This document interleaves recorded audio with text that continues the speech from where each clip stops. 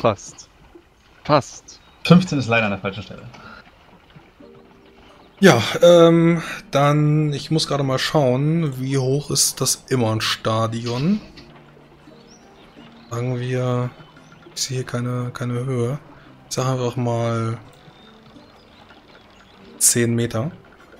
Ähm, ihr verhakt euch ähm, im Immern-Stadion an einer der Schauplätze, an einer der Tribünen, reißt die ab, bleibt dann hängen, mehrere Sand Sandsäcke, die jetzt gerade äh, weiter abreißen, während ihr eigentlich landen wolltet, ähm, gewinnt das Ding dann doch recht schnell wieder an Höhe, äh, obwohl ihr da dann die Kessel weniger beheizt hattet, um da eigentlich ordentlich zu landen, hattet ihr euch in der Stunde so ein bisschen dann damit angefreundet und dann ruckt es einmal, ihr habt euch irgendwie mit den Seilen verhängt, sodass ihr jetzt mitten in der Luft schwebt, an diesem Seil noch angebunden an den Tribünen und ähm, ein großer Ruck, der jetzt äh, durch euer Schiff geht und ihr hängt schief, sodass ihr jetzt, äh, wenn ihr euch äh, nicht mit einer Körperbeherrschungsprobe plus 5 festhalten könntet, dann würdet ihr jetzt 10 Meter runterfallen.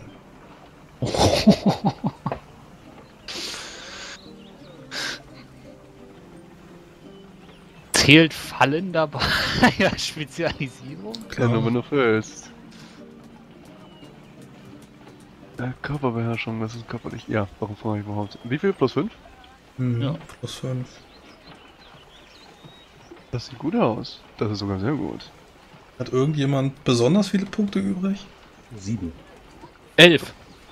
Nee, Rafim hat 6 Punkte über. Achso, ja, sorry. Äh, ja. Immer geht auf jeden Fall hin, immer möchte ganz gerne gucken. Er sieht vielleicht Abelmir torkeln, wie er sozusagen immer weiter auf die Reling zu torkeln und denkt sich so, boah, wenn die das gleich an der Hüfte trifft, die Reling, dann fliegt er einfach rüber. Immer möchte ich ganz gerne abstoßen, äh, sozusagen auf der Reling landen, Abelmir einen Schubs in den Rücken geben und äh, selber dabei in die Tiefe stürzen, damit Abelmir aber nicht stürzt. Alles klar, äh, nehme ich an, das ist dann sogar ein kontrolliertes Springen, ein kontrolliertes Fallen. Äh, damit wird Das ist wahrscheinlich Abelmir... kein kontrollierter Sturz, weil ich ja nicht aktiv springe, sondern ich Ja, schubse und dadurch Abel, runterfliege. Abelmir, Abelmir, du hast dieses Gefühl von Leere in deinem Bauch. Du hast gerade äh, einen, ja, einen, einen kurzen Film. Du siehst wieder, wie du zurück in Perikum bist, wie du deine Freunde aus dem Gefängnis herausholst, wie du mit dem Markgrafen geflohen bist, äh, wie dein ganzes Leben an dir vorbeiziehst und dann hört das plötzlich auf. Du siehst, wie Ömer wohl neben dir fällt, äh, mit dem Rücken voran in die Tiefe und äh, ja, Ömer! Dann haben wir noch Aber der Stoß Chiaras. hat gereicht, um damit du sozusagen auf Deck vor, vorwegs landest und mit den Füßen wahrscheinlich gegen die Reling kommst, anstatt runterzustürzen. Möchte irgendjemand den Schaden für Chiaras nehmen? Nein. Kann ich versuchen, mich an dem äh, äh, Steuerer festzuhalten. Äh, nee, das war ja Körperbeherrschungsprobe und ja, ihr wusstet, ihr wusstet vorher, dass das gefährlich wird, ihr wolltet angeben. Dann jeweils bitte 10 Meter. Körperbeherrschungsprobe erschwert um 10. Also ich Oh, meine, wenn ich es schaffe, ihm noch irgendwie die Hand hinzustrecken und den dann festzuhalten, dann würde ich das natürlich versuchen, aber wir hatten jetzt auch nicht gesagt, wer wo auf dem Schiff ist. Ja, mit an zwei Punkten schaffst du es gerade, dich selbst festzuhalten. Ich ihn auch hin nicht und fangen. gibt 5 ASP aus, um seine Körperbeherrschung um 10 zu erhöhen. Ja. So, dann bekomme ich jetzt äh, 10 W6 minus 10 und ich darf 10, äh, 10, die 10 höchsten Würfel rauslegen. Ähm, Moment, du darfst 8 rausnehmen. Ja, ja, genau. Ich, darf, ich kriege 10 W6 minus 10 und darf 8 Würfel rausnehmen. So meine ich das. Entschuldigung. Genau. Und Chiaras äh, bekommt die vollen 10 W6 minus 10. Aua. Das könnte ein Chippy werden. Du hast da Artefakt. Moment. Vielleicht ist Chiaras ja Glück. Vielleicht landet Chiaras ja irgendwo auf irgendwas, was nicht ganz so hart ist. Also wie zum Beispiel irgendwie der, das Iman-Stadion vielleicht ist Grasen. Ich bin mir nicht Das ganz ist, das, sicher. das ist Rasen, ja, ja, das ist Rasen. Vielleicht sind da nochmal irgendwie zwei, drei Punkte Schadenspuffer drin, weil der allem ja auch auf Stein geeignet ist. Ja, gucken wir also mal, wie viel 10 wie 6 minus 10 sind und dann können wir uns überlegen. Sind 29. 29. Äh, ich rufe zu Stein werden. Ah, Mensch. Oh. Es, okay, jetzt eigentlich zu Stein werden ja nicht die Formel, aber da ist zu Stein halt schon drin. Ja, richtig. Dann bekommt immer gar keinen Schaden, denn es- ich nehme alles bis auf die zwei Einsen raus und die 1 W6 minus 1 äh, pro Würfel bleibt übrig, das ist bei 0. Das ist richtig. Ja, äh, dann kann Ömer, du kannst die Szene gleich selber bitte beschreiben, wie du da grazil äh, landest und äh, so grazil wie Ömer gleich landet, wird Chiaras einfach nur sehr, sehr stumpf äh, in den Boden der Arena, in das Gras einschlagen und äh, zwei Meter tief dann äh, ja, in, in dieses Gras einsinken, ja, bis er dann auf irgendwie so einen äh, verschachtelten Stein oder Kiesbogen trifft und ja, du da dann bewegungsunfähig hängst. Ich beug mich mal über die Relinge und gucke, ob Kiaras grün geworden ist. Ich helfe mich zum Steuer nach hinten, damit wir hier nicht weiter abdriften.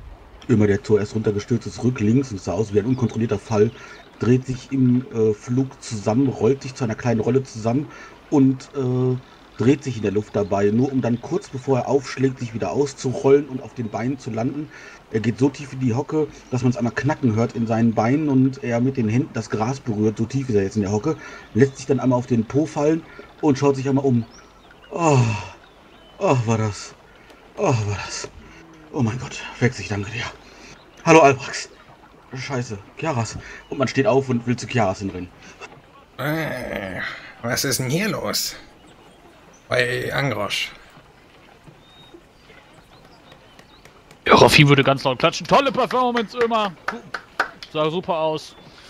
Immer rennt hin, schmeißt sich, fletscht sich in den Boden vor Chiaras und äh, betrachtet ihn. Chiaras, Chiaras, Chiaras, nicht sterben, nicht sterben. Äh, ja, endet du dann. kannst, du kannst äh, Kiaras da immer noch unten äh, zwei Meter im Erdboden sehen, äh, bewegt sich nicht, er wird wohl höchstwahrscheinlich tot sein. Äh, er bewegt sich keinen einzigen Millimeter. Auch kein Stöhnen oder sowas von ihm. Immer steigt vorsichtig in das Loch hinab. Ohne auf Chiara zu treten, stützt er sich mit den Füßen an der Wand ab und lässt sich sozusagen mit dem Rücken und den Füßen an der mit dem Rücken an der einen Wand, den Füßen an der anderen Wand, lässt er sich langsam hinunter und äh, will Chiaras übers Gesicht streicheln. Er will vor allen Dingen auch an seine Nase kommen, um zu fühlen, ob er atmet. Nee, tut er nicht. Man, man kann sehen, wenn äh, Dings wirkt. Die Haut wird davon relativ steinig. Immer schaut nach, ob er irgendwo Blut sieht. Nein, kein Blut. Er ist äh, wie eine Steinstatue, würdest du fast sagen. Äh, wenn, du, wenn du versuchst, ihn so ein bisschen zu drehen, kannst du auch sehen, dass sein Brustkorb oder so gar nicht eingedrückt ist. Ähm, entweder seine Rüstung ist extrem gut oder Fex hat ihn bewahrt. Überdreht ihn nicht. Immer will äh, sozusagen an seine Hand gehen und seine Hand vorsichtig bewegen. Dann, wenn seine Hand kaputt geht, dadurch ist das eine Sache, aber wenn sein, sein Oberkörper kaputt geht, sein Brust, dann wäre das doch etwas problematischer. Nein, er will versuchen, die Hand zu bewegen. Geht Von nicht. ihm. Kein Millimeter. Ah, du Schlitzohr. Äh, Chiaras, du spürst es Schlitzohr. auch, aber irgendjemand, irgendwie, also du hörst auch die Stimme, ne, und kannst das alles noch wahrnehmen. Albrax, ruft man aus Loch hoch, wo man drin hockt, mit den Füßen an der Wand und dem Rücken an der anderen Wand. Ja, du kannst das, du kannst das kleine bärtige Gesicht von dem Zwerg dann über dir erkennen. Ja, Engrosch. Ja, Angrosch auch mit euch. Könntet ihr mir vielleicht ein Seil runterwerfen? Ich muss das äh, um Chiaras legen und ihn dann hochziehen. Ja, wo soll ich das denn hernehmen? Aber ich glaube, eure Freunde da oben kommen auch gleich runter. Äh, die haben das Stricklader gerade runtergeworfen. Einen Moment, ich hole die mal. Dankeschön. Ja, verschwindet er wieder und kommt dann nach äh, einer Minute wieder. Äh, währenddessen Answin hat sich da so ein bisschen drum gekümmert, hat euch dann mit dem einen Seil losgeschnitten, was dann da festhing, hat dann äh, versucht, das zu landen, weil Kieras als Steuermann war dann natürlich dann erstmal aus dem Gefecht. Äh, das Schiff normalisiert sich so wieder ein bisschen, könnt euch da wieder aufraffen, äh, Abelmir kann seine Robe wieder glatt streichen. Und dann könnt ihr über die Tribünenbänke, könnt ihr dann langsam nach und nach nach unten steigen. Äh, währenddessen hat dann Albrax die Trittleiter äh, nach unten geschmissen und dann auch verzurrt festgemacht, also dass dann äh, Ömer wieder nach oben steigen könnte, während die anderen gerade die Tribüne nach unten kommen. Ich stürme erst auf Ömer zu. Notschlag, Torbrin! Wow! Immer klettert wieder aus dem Loch raus, nachdem er das Seil Chiaras umgelegt hat. Ah, Ja, warte einfach einen seinen Arm lebt, rum. Ihr, ihr, ihr lebt. Ich umarme dich ganz kräftig. Danke. Ach, Abelmir, euch geht's gut. ah, ihr, ihr habt mir das Leben gerettet. Ja, ja, ich bin auch gut gelandet. Das waren noch 10 Meter. Was ist Unter, mit untertreibt los? nicht. Was ist das? Ich, ich habe ich hab das schon mal, ich hab das schon mal geübt mit einem 8 Meter hohen Baum. Das geht ganz gut. Aber, aber das, das war, das waren Ich, ja, 10 Chiaras Meter. ist zu Stein. Ich glaube, der, der, der, der, der hat das Steinartefakt benutzt. Zum Glück. Gut, dass er dafür gekommen ist. Ja, ich fürchte, wir müssen jetzt nur abwarten, ja, bis er die Zauberwirkung verfliegt. Und wie lange wirkt sowas denn, Magistra? Das kommt darauf an. Hm, Also mindestens einige Minuten. Immerhin werden wir wohl wissen, ob diese schwarzen Magier gute Arbeit geleistet haben. Zumindest ist er schon mal nicht grün angelaufen. Und nicht Ja. tot. Stimmt. Lassen Sie ihn da rausziehen. Ich habe mir das Seil um den Arm gemacht, aber ich bin nicht stark genug, um ihn alleine rauszuziehen. Na komm, dann holen wir ihn mal. Ja, gemeinsam mit Rafims Hilfe könnt ihr dann äh, relativ sicher Kiaras in genau der gleichen Pose äh, nach oben ziehen, wie er auch gefallen ist.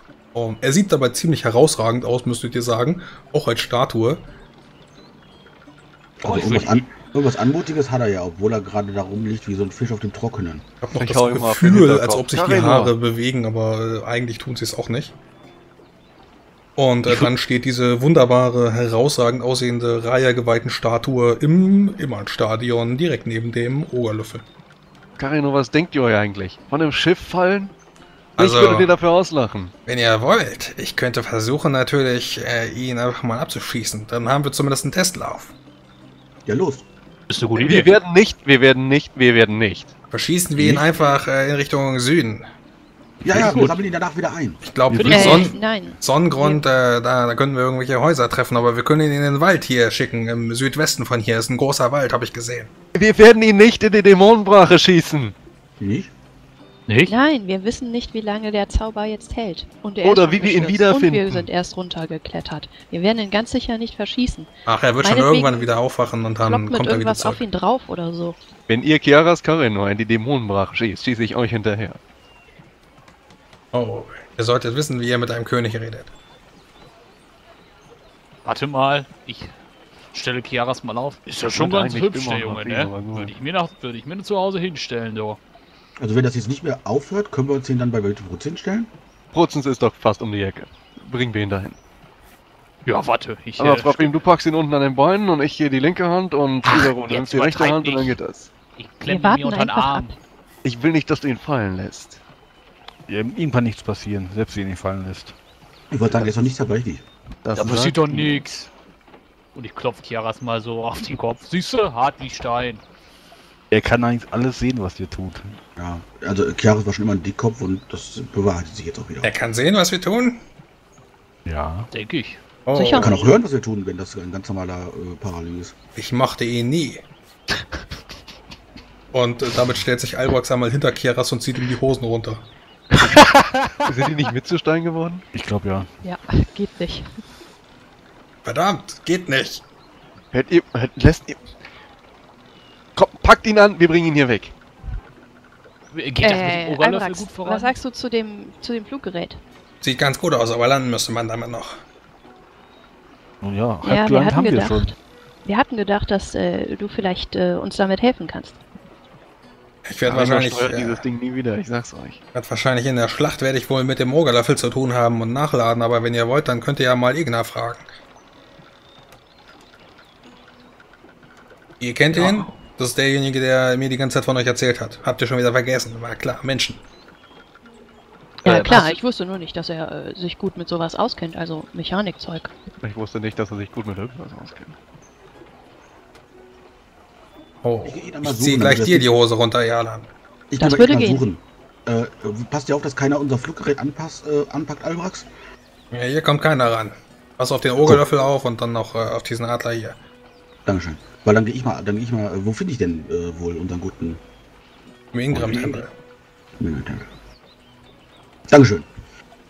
Äh, Leute, ich kümmere mich darum mit, mit Ignat zusammen und äh, so, dass ich jetzt hier äh, vielleicht noch ein paar Ingram-Geweihte, äh, dass wir sozusagen das Ding hier rausfliegen und äh, oder zumindest richtig auf den Rasen stellen und nicht da irgendwo in der Tribüne hängen bleiben. Kein schlechter Vorschlag. Hast jetzt schon Fortschritte damit gemacht, Albrax? Glaubst du, damit triffst du die Festung? Ja, schon, klar. Der macht schon Spaß. Natürlich nicht von Zwergen gebaut. Äh, die, die Oger haben überhaupt keine, keine Ahnung von feiner Mechanik, aber äh, groß ist das Ding. Groß ist es. Groß. Glaubst du denn, dass du mich damit, äh, dass du mich damit auf die Festung schießen kannst? Bestimmt, ne? Das Bestimmt. klappt doch. Mal hast ein du Groschschuss krieg ich hin. Top. Wir müssen aber mal gucken, wie lange Kiras jetzt versteinert bleibt, damit ich, damit wir das ein bisschen im Auge haben. Wie lange ich dann auch versteinert bin, weil auf der Ja. Festung wäre das doof. Sag mir aber Bescheid. Ich kann dich äh, abschießen, wie du willst. Ich habe ein ziemlich gutes Zeitgefühl, mein Freund. Perfekt. Kannst du, kannst du mir sagen, dann lass mal hier warten Dann warten wir darauf, bis Chiaras wieder sich bewegt und dann wissen wir, wie lange diese Dinger halten. Ist die Perfekt. jetzt nicht schon losgegangen? Ach, Arschlöcher. Ja, du hast recht. Ah, ich muss ihn noch mal aus dem Fenster schmeißen. Ich komme wieder. Ja, kannst ihn, kannst ihn noch ein paar Mal aus dem Fenster schmeißen. Hm, Aber, aber mir könnt ihr eigentlich den Parallel? Ja, Könnt ihr nicht Rafim mal eben kurz versteinern und äh, Rafim lässt sich dann einmal damit abschießen? Damit man schon mal, damit er schon mal beide Leute, sowohl der Hochkönig einmal geschossen damit hat und Rafim schon mal sich hat damit schießen lassen. Und Rafim dann einfach wieder zurückgelaufen. nun ja, ich könnte es versuchen. Wollte ich für, für unseren Testlauf zur Verfügung stellen? Natürlich! Los, los, los! Aber Rafim wir- sitzt schon in dem Ding drin, bevor der Zauber gesprochen ist. Nun gut. Dann setzt euch doch vielleicht in dieses, äh, in diesen Löffel dort oben. Ich dachte an eine stehende Pose, die ist etwas heldenhafter. Ihr könnt auch stehen, meinetwegen. Sehr gut. Rafim zieht sein Schwert, hält es mit einer Hand, streckt es in Richtung Himmel und nimmt eine heldenhafte Pose ein. Andererseits, Rafim, wenn ihr euch so zusammenkauert, könntet ihr zur lebenden Kanonenkugel werden. Bevor wir damit jetzt anfangen, was möchtet ihr, dass wir auf euren Grabstein schreiben? Ja, Korver mit ihm. Er kam, sah und fliegte. Vielleicht sollten wir erstmal abwarten, ob der Zauber wirkt und dann den Abzug betätigen. Ja, los, jetzt macht ihr, seid ihr seid ja. Magier. Jetzt macht mal. Äh, Wir sollten vorher vielleicht auch das Geschütz ausrichten. Worauf zeigt ihr euch Ah, das aber gerade? ihr, ihr denkt hier über viel zu viele Sachen nach. Ja, jetzt richten wir das erst auf. Aktuell habe ich es ausgerichtet in Richtung dieses Waldes im Südwesten von hier. Da Ja, soll dann- dann ja später diese Festung auftauchen. Ja, dann Das schieß mich mal irgendwie nach Eschenrott oder so. Irgendwo dahinter in die Felder. Vielleicht in den Fluss, damit wir keine Leute oder Gebäude treffen? In den Süden. Das kann doch bestimmt über die Stadt wegschießen, oder nicht? Also hinter Sonnengrund, ja, hinter Öschenrott. Ja, irgendwo da ist doch scheißegal. Gut, da muss ich aufpassen, dass ich euch nicht in den Boron, äh, in den Boron-Friedhof da reinschmeiße. Warum? Dann kann man ihn direkt begraben. Ach, ihr, ihr geht da mit der ganz falschen Einstellung ran, der Alan. Ihr geht da mit der ganz falschen Einstellung ran. Ich gehe mit der gebotenen Vorsicht an seltsamer schwarze Magie heran. Sag mal, aber ich habe euch ja gerade das Leben gerettet. Glaubt ihr, äh, ich könnte mich auch nochmal damit abschießen lassen, weil ihr genug äh, Zauberkraft habt, um mich mit zu versteinern? Ja, ja, ja. Das wird super. Es, ich, ich fürchte, meine, meine Expertise diesem Zauber ist nicht ausreichend. Wir könnten es nacheinander, aber Wir haben doch noch eine zweite Magierin, Isaru. Seid ihr so freundlich und würdet Irma verstrahlen, damit wir durch die Luft fliegen können wie Kanonenkugeln, wie ihr gesagt habt. Nein, ich denke, ich kann diesen Zauber nicht so gut wie Abelmir. Ah, ja. Das überlasse ich dann dem Experten. vielleicht sollten wir erstmal mit Rafim als Probeschuss anfangen. Nein, gleichzeitig. Arm in Arm und sozusagen mit beiden gestreckten Waffen. Nun ja, wie gesagt, äh, je mehr Leute man verzaubert, desto schwieriger wird es. Aber mir, ihr seid, ihr seid Magier von stellt sich jetzt direkt neben Rafim, zieht seinen Kurz, äh, zieht seinen Säbel, reckt ihn in die Lüfte und äh, umgreift mit der anderen Hand, mit den anderen Arm äh, Rafim bei der Hüfte sozusagen, äh, beziehungsweise am Oberkörper und umschlingt ihn. So, gemeinsam hoch in die Lüfte! Na, In die Luft! Lassen, lassen wir doch einfach mal diesen, diesen Geweihten hier, können wir aber dazulegen. Ob wir jetzt zwei Steine verschießen oder drei, das macht dann auch keinen Unterschied mehr. Ja, aber mir jetzt fangt endlich an zu zaubern. Ihr seid doch macht Magier irgendwas. Es macht schon einen Unterschied. Je mehr Personen, desto schwerer wird es. Aber mir, wollt ihr mir etwa sagen, dass ihr zu unfähig seid, zwei Leute zu versteinern? Das, das wollt ihr mir doch nicht sagen, oder? Es ist euer Leben. Ja, genau, deswegen los, versteiner uns. Versteiner uns! Gut. Wir haben inzwischen hoffentlich das Geschütz ausgerichtet. Alle drei stehen oben. Äh, ich vermisse meine Zwerge. Die lachen wenigstens darüber, wenn ich Witze mache. Er- Erst schießen wir nicht das Zeichengewehr. Ja, Ich meinte den Hochkönig. mach schon, aber mir mein Arm wird lahm in der Pose. Ach, Magier, Gelumpe. Ja, sind sie alle. Legt ihr jetzt Kiras noch mit dazu? Nein, Nein, bleibt schön hier. Ich Der weiß verpasst. hat, hat Der verpasst alles. höhere Magieresistenz als... Ja, dann, dann stellt doch, auf- dann stellt doch wenigstens Chiaras so auf, dass er alles sehen kann, was hier passiert. Er hört es ja trotzdem. Ah, Ja. ist der nicht? Oh, warte, ich drehe euch mal. Ich habe eine MR von 6, wenn ihr das hilft. Ja, also maximal Schmerz von 12 steht ja hier. Obwohl, Ja, das ist wohl geklappt. Genau, dann hast du noch sechs mal fünf Minuten. 30 Aber Stück. Er hat nur einen Stern ja im Endeffekt übrig wegen der Erschwernis, die er noch, glaube ich, bekommt, oder? Er bekommt ja doch sozusagen jetzt hier äh, zwei Personen genau. plus äh, MR von Genau. 6, also 8 Punkte Basis. Ach so, zwei, zwei gleichzeitig. Ich dachte, er macht jetzt zwei Also, Zauber. Dauert jetzt noch fünf Minuten. Äh, die Zauber, die Wirkungsdauer ist jetzt noch fünf Minuten, das wissen die ja noch nicht. Äh, ich klopfe nochmal auf, auf, auf beide rauf, ob die wirklich Steine sind. Kannst auf den Kopf raufklopfen, richtig schön unwürdig. Wie auch immer. Äh, trete dann einen Schritt zurück und hebe dann den Arm. Jetzt schießen. Ausgezeichnet. Ja, er zieht an einem großen Hebel und äh, der Ogerlöffel katapultiert äh, die beiden in Richtung Himmel, Süden. Ihr fliegt ähm, durch die Luft. Ihr könnt sehen, wie die Häuser sehr, sehr schnell sehr viel kleiner werden. Ähm, ihr den Wolken sehr nahe kommt und dann mit einer unglaublichen Geschwindigkeit wieder in Richtung Erdboden äh, fallt. Ihr könnt den Boron-Tempel unter euch größer und größer werden sehen. Und äh, dann, äh, ja, etwas weiter im Süden schlagt ihr auf einem der Felder auf und äh, werdet auch dann, ja, ähm, auch wieder zwei, drei Meter in den Erdboden gerammt. Dadurch, dass ihr euch zu einer Pfeilspitze geformt habt, also dann äh, sehr länglich und nicht eben so breit wie Keras aufgestellt habt, sind das natürlich nochmal so ein Meter mehr, den ihr in den Erdboden geschossen werdet. Und äh, ja, während die anderen dann äh, hochzufrieden erst einmal den anderen beiden hinterher gucken, dann mit den Schultern zucken und dann Keras in Richtung äh, von Witwe Putz bringt. Ähm, also Ömer äh, wollte ja eigentlich mit Igna sprechen, aber der ist jetzt ja auch gerade irgendwo im Süden.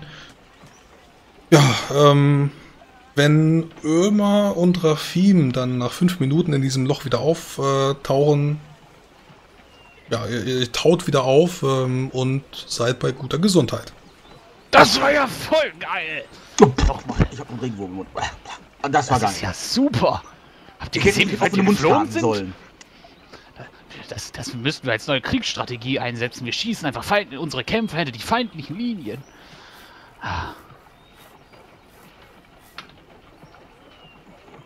Ja, ja, ja. Das ist auf jeden Fall, äh, irgendwie ist das Ding auch viel besser als, äh, ich glaube, ich werde mich auch damit abschließen lassen. Das ist ja viel besser als diese, diese Flugmaschine. Diese Flugmaschine ist zwar toll, aber dann noch ein bisschen langsam und langweilig. Richtig. Überleg mal, wenn wir jetzt in diese feindliche Festung eingeschlagen wären, die ersten zwei feindlichen Söldner durch unseren Aufschlag aufgespießt. Ah, Vielleicht sogar die ersten Dämonen, die direkt aufgespießt werden. natürlich. So muss, so muss das.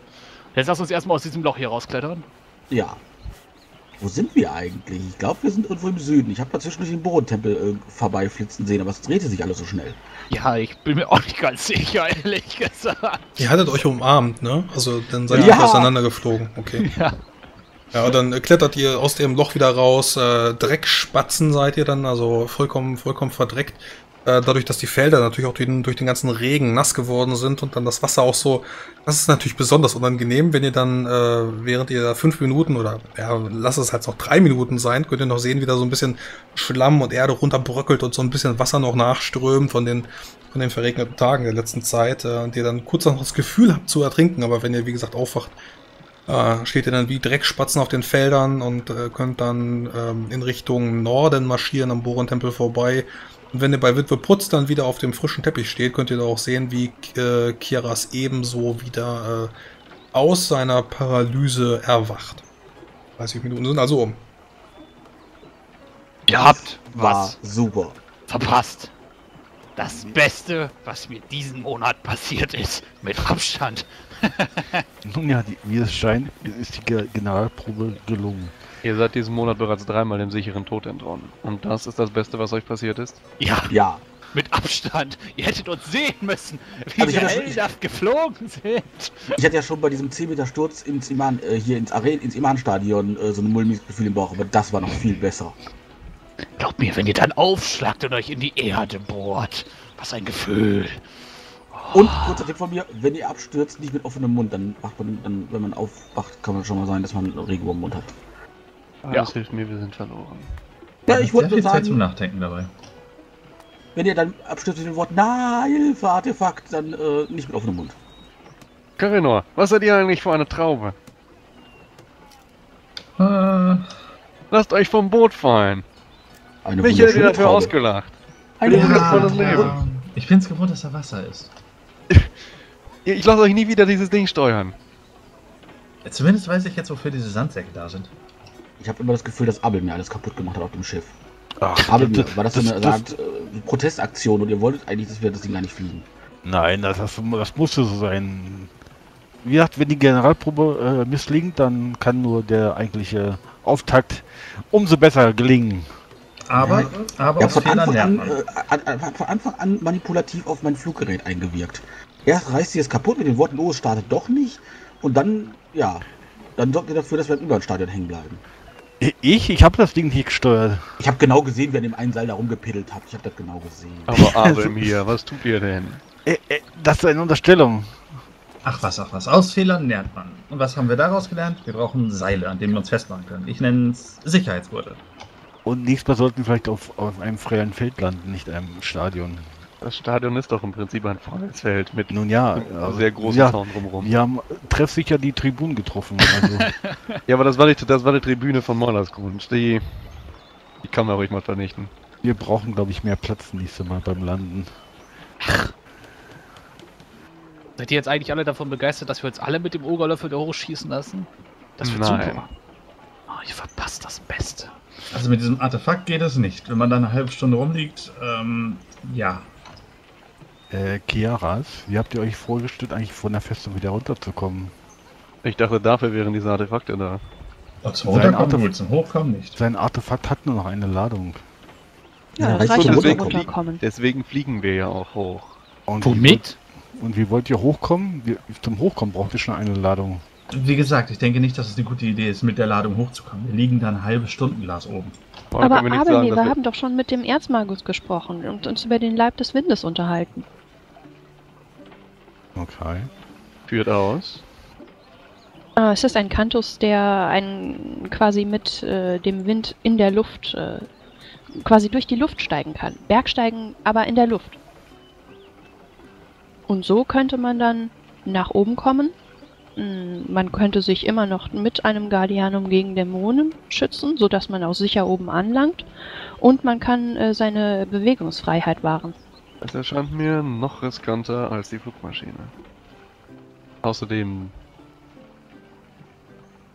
Ich glaube, es gibt, ich glaube, es gibt keinen gefahrlosen Weg nach oben. Die, die Maschine kann nicht magisch gestört werden. Ja, wie wollt ihr denn sonst nach oben kommen, Jalan?